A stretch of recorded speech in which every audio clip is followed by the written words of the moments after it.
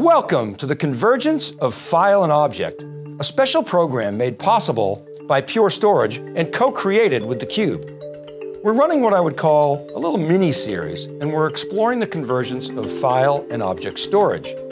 What are the key trends? Why would you want to converge file and object? What are the use cases and architectural considerations? And importantly, what are the business drivers of UFFO, so-called Unified Fast File and Object? In this program, you'll hear from Matt Burr, who is the GM of Pure's FlashBlade business, and then we'll bring in the perspectives of a solutions architect, Garrett Belsner, who's from CDW, and then the analyst angle with Scott Sinclair of the Enterprise Strategy Group, ESG. And then we'll wrap with a really interesting technical conversation with Chris Bond, CB Bond, who is a lead data architect at Micro Focus, and he's got a really cool use case to share with us. So sit back and enjoy the program.